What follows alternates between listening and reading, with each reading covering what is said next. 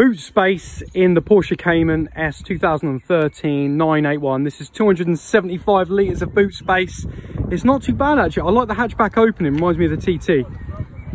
Oh, 275 litres, is that enough? I'm going to show you the front litres in a minute.